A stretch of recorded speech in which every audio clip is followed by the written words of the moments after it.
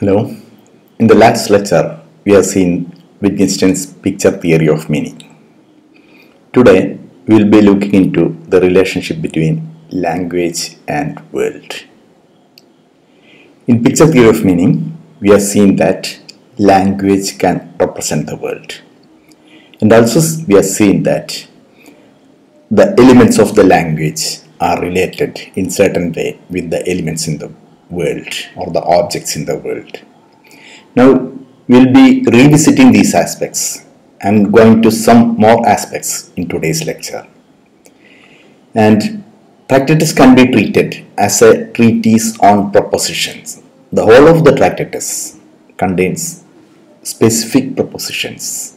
As I described earlier, numbered from 1 to 7 with subparts and all are clearly unambiguously stated propositions. So it's and the what the, uh, what the tractatus contains is also proposition and it is about proposition. And how a proposition represents reality. So a treatise on proposition is written in propositional form.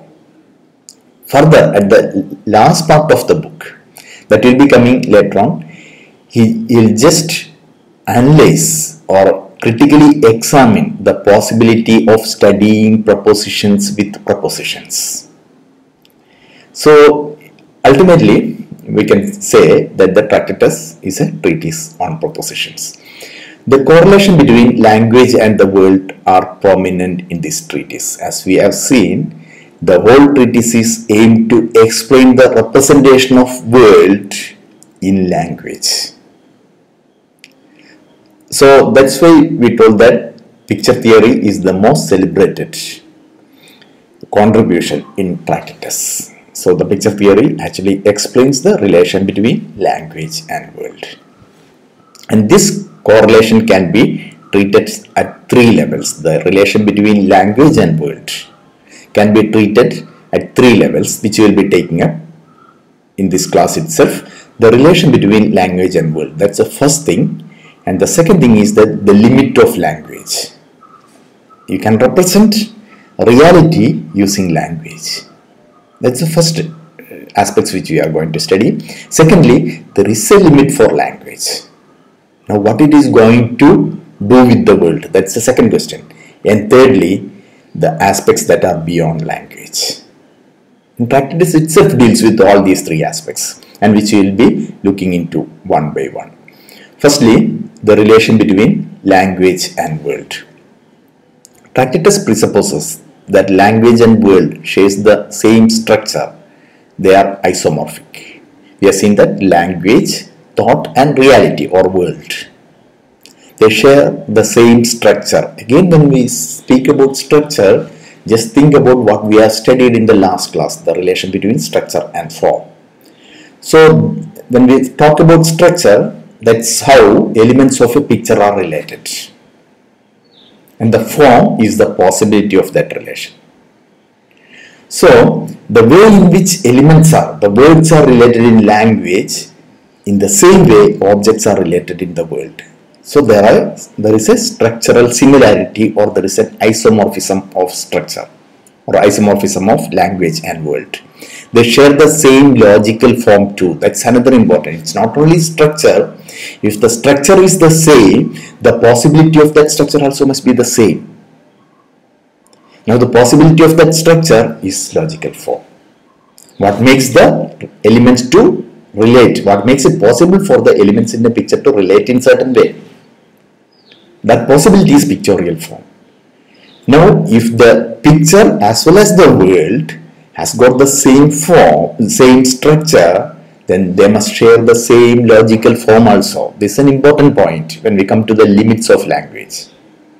So this is an important point that they both have the same form too. Now, as far as Tractatus is concerned, propositions are either possible or impossible we have seen in the letter this thing correspondingly state of affairs are either possible or impossible a musical note the possibility of proposition is a musical note can be weaker or louder. It can have low noise or high noise, high level of sound, a musical note, but cannot be red or green. There is no colored note. So in the same way, there are limitations or possibilities and impossibility for proposition also. In the same way, state of affairs, in state of affair also there are limitations. So the way in which the propositions are limited or by its possibility and impossibility, in the same way the world is also limited in the possibility and impossibility. The propositions have sense and are pictures of reality. We already studied. The proposition makes it sense or it produces itself sense from itself. And it's that sense which make it possible to be a picture of reality if it represent that reality. Okay. In Sinn and Bedeutung we have seen that. The sense of a proposition is the meaning that it generates from within and it has got a reference in the world. So propositions have sense and are the pictures of reality by being that sense corresponds to that reality and they are either true or false if that sense corresponds to the reality or if uh, corresponding to this sense if there exists a reality the proposition is true when I say that rose is red, rose is red is a proposition which has got a sense of its own. Now, the proposition is true if actually rose is red in the world, if it corresponds to that reality, or else it's false. So, this, this sense of the proposition makes it possible to be either true or false. All propositions. Now, there are possible proposition as well as impossible proposition. We cannot speak of impossible proposition because it doesn't make any sense. All like mm, I slept well tomorrow. Okay, I'll be uh, okay. I slept well tomorrow. That's an impossible thing. I'll be sleeping well tomorrow. That I can just predict. But I slept well tomorrow is an impossible thing. So it doesn't make any sense. They are neither true nor false. They are simply nonsensical. Now, in order to be something to be true or false, it must have some sense. So, propositions which are possible are sensible also.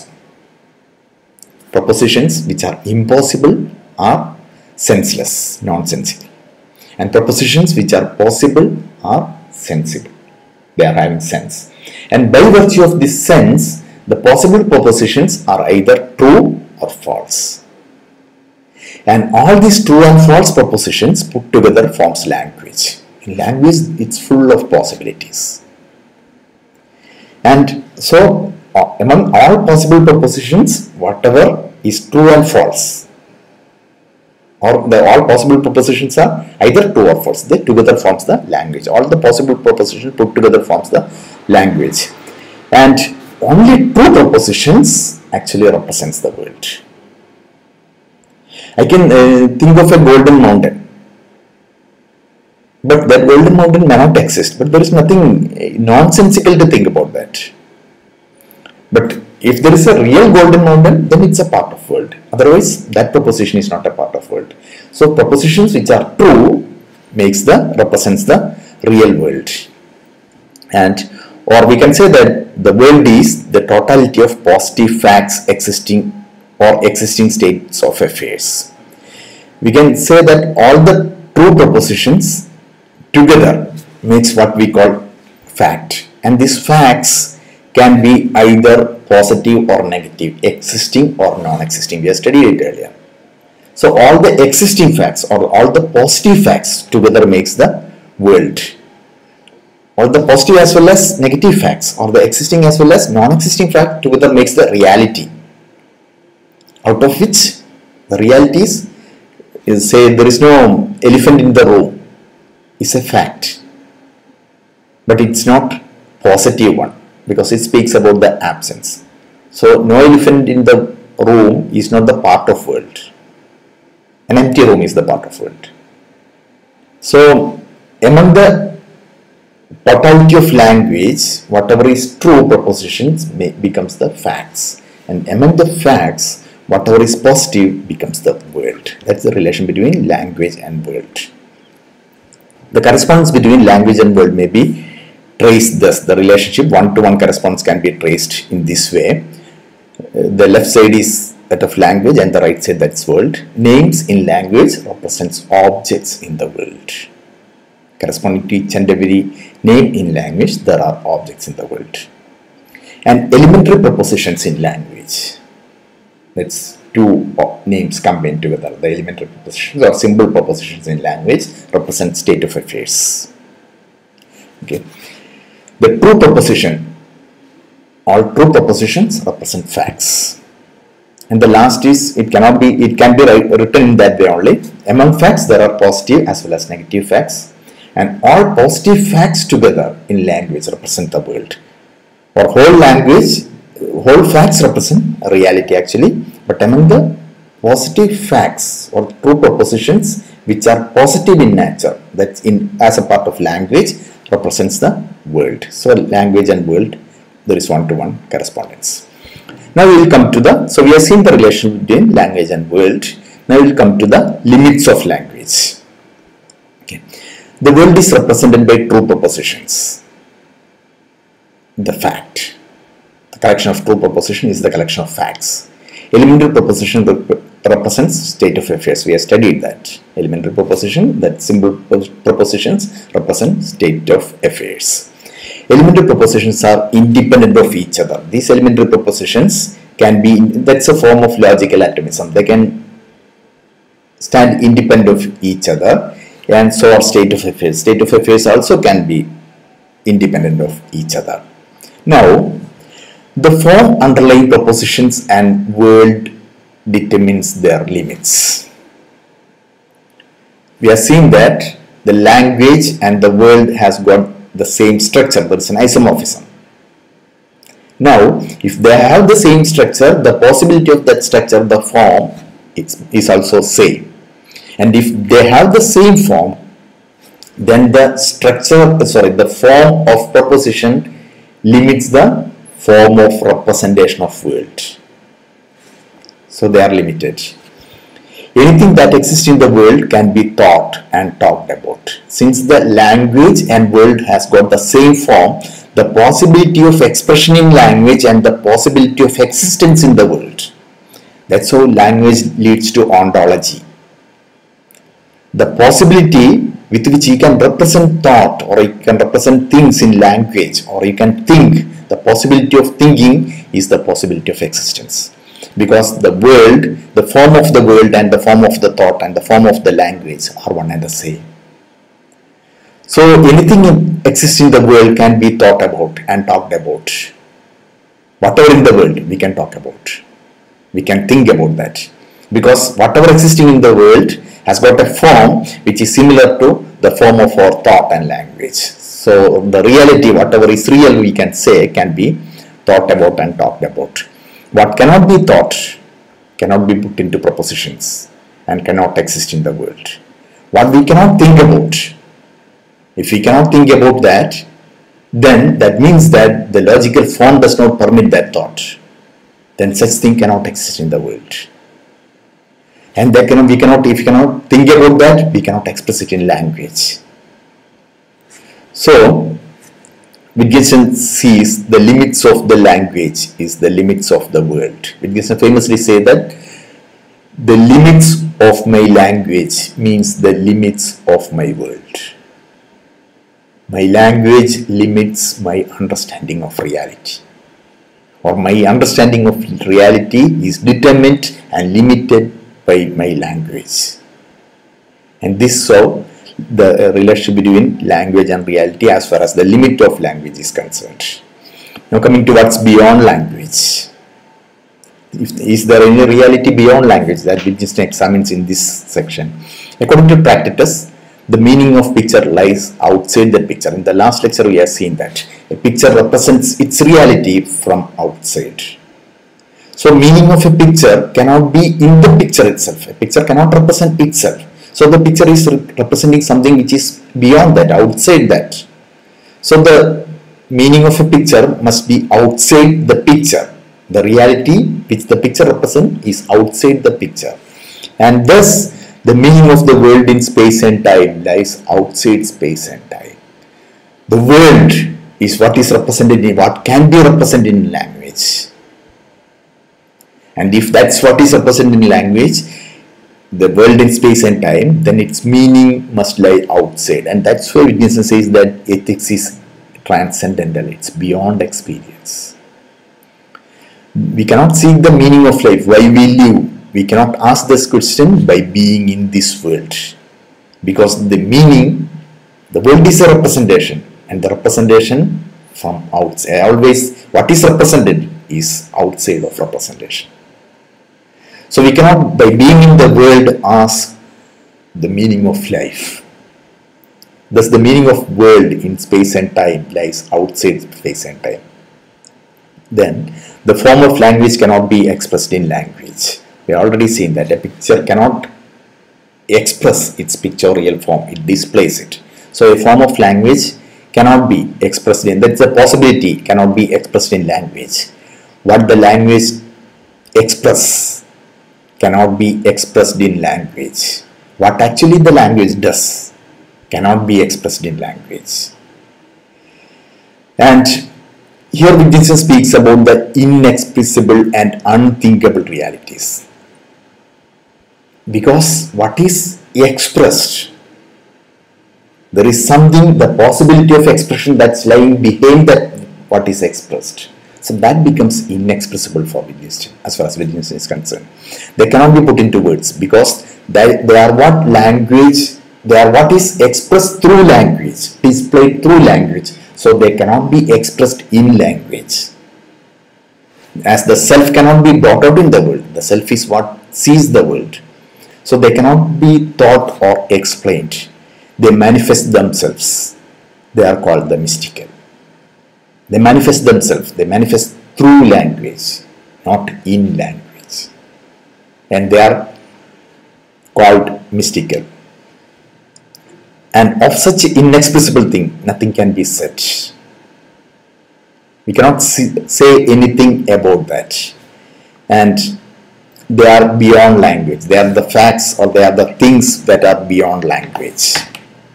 Because we cannot put them into language and hence Wittgenstein famously declares as the seventh proposition in Tractatus, whereof one cannot speak, thereof one must be silent. That's beyond language. Whatever is beyond language, we cannot speak about. And again, about Tractatus itself, Wittgenstein makes a criticism that the Tractatus goes beyond language. You have to note it down. I, and not made the slide in about this. what Wittgenstein says is that the aim of the Tractatus is beyond what the Tractatus does. Because he says in 6.54 the seventh is the last proposition that which declares that whereof one cannot speak thereof one must be silent. The proposition just before that 6.54 he says my proposition serve as elucidations in the following way it can be used in the following way. Anyone who understands me eventually recognizes them as nonsensical. Because what he is trying to do is to find out the possibilities of proposition using the position. So he is trying to picture a proposition using the position or he is trying to make a picture of itself. So anyone who understands me eventually recognizes them as nonsensical when he has used them hyphen. He has used this whole text factors hyphen as steps. Hyphen. It's just like you are using ladder. To climb up beyond them. You have to understand this and go beyond them. In bracket he writes he must so to speak throw away the ladder. Throw away the ladder after he has climbed up it. Once you reach the top you have to throw away the ladder. So his propositions, the whole of Tractatus is to find the limit of language and using language. And once you use it fully, once you understand it, you have to throw away the whole text. He must transcend these propositions. He must go beyond these propositions. He must transcend these propositions. And then he will see the world aright. Only when you can go beyond, only when you can think beyond whatever is stated in Tractatus, you can see the tractorial representations in the right way. That's all about Tractatus. Thank you. Bye. In the next lectures, we look into the later philosophy of Wittgenstein.